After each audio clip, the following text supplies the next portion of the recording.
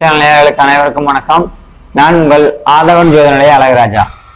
வணக்கம் நண்பர்களே நம்ம இன்னைக்கு பார்க்கக்கூடிய விஷயம் என்ன அப்படின்னு பார்த்தீங்கன்னா ஒரு விஷயத்துக்கு எங்க என்ன ஒரு விஷயமாக சென்றாலும் அந்த காரியம் தங்கு தடையின்றி நல்ல முறையாக நடைபெற நாம என்ன மாதிரியான வழிபாடு முறைகள் செய்யணும் அப்படிங்கிறத பற்றி நம்ம இந்த பதிவில் பார்க்கலாம்.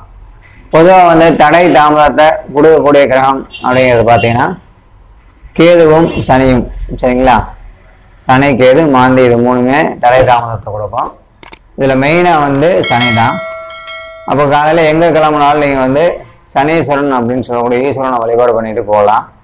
அதுக்கடுத்து பார்த்தீங்கன்னா கேது பகவான் சொல்லக்கூடிய ஈஸ்வரன் கோயில் உள்ள விநாயகரை வழிபட்டுட்டு போனீங்கன்னா கம்பல்சரி உங்களுக்கு எந்த காரியங்களும் தங்கு தடை இல்லாமல் நடக்கும். சரி இதுக்கடுத்து வந்து பார்த்தீங்கன்னா தங்கு தடையின்றி ஒரு காரியம் நடக்கணும் அப்படின்னு சொல்லும்போது நீங்கள் என்ன பொருட்கள் கையில் வச்சுட்டு போகலாம்? அப்படின்னு பார்த்தீங்கன்னா ரொம்ப சிம்பிளான பொருள் தான் வெற்றிலை பாக்கு மஞ்சள் தூள் எலுமிச்சங்கனி ஏலக்காய். சரிங்களா? வெற்றிலை பாக்கு மஞ்சள் தூள் மஞ்சள் பொடி அல்லது விரலை மஞ்சள் இருக்கு இல்லைங்களா? அந்த குச்சி மஞ்சள். அதுக்கடுத்து பார்த்தீங்கன்னா உங்களுக்கு நம்ம இந்த சாதாரண நம்ம வீட்டில் இருக்கக்கூடிய கிச்சனில் உள்ள ஏலக்காய். இந்த நாலு பொருள் சரிங்களா? வெற்றிலை பாக்கு மஞ்சத்தூள் ஏலக்காய். கூட எலுமிச்சங்கனி ஒன்று வச்சுக்கலாம். இந்த ஐந்து பொருள் மட்டும் நீங்கள் வச்சுட்டு போனீங்கன்னா எந்த காரியமும் தங்குதடையின்றி உங்களுக்கு நல்லபடியாக நடக்கும்.